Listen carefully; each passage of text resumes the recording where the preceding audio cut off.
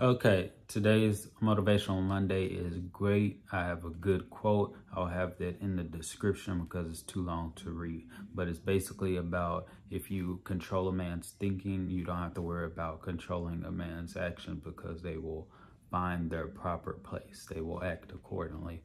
And I think that's a good quote to talk about in terms of controlling your own mindset because this is a self-improvement channel and I do talk about SMMA and then losing weight, gaining muscle, getting healthy.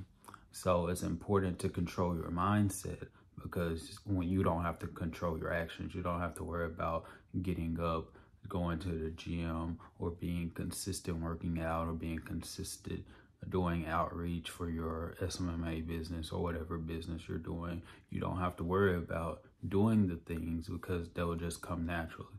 It will be a hygiene standard. So basically, it's something that you do all the time. And, all, and that begins if you control your thinking. So you need to work on your mindset first. That's why some of the first videos that I created was about mindset, reading books, meditating, controlling your thoughts, not getting distracted by different social media platforms or anything else in your life that is hindering you from being the best possible version that you can be.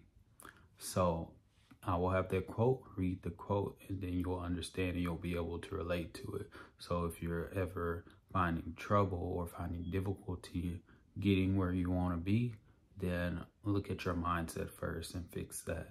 And then you'll see that your problems tend to resolve themselves because you'll start behaving the way that you need to be when you start mentally becoming who you want to be.